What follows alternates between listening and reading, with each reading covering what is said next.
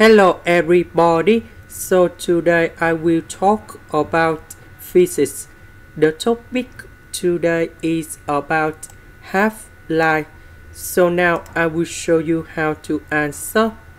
We have iodine 131 has a half-life of 8 days. How much of a 10 gram sample remains after 16 days? So now I will show you how to answer. We have m equals to m0 multiplied by 2 to the power of negative small t over capital T. So m0 that's about initial mass. So we have 10 grams in here. And we have number 2 to the power of the small t. That's the after how many days? So we have 16 in here.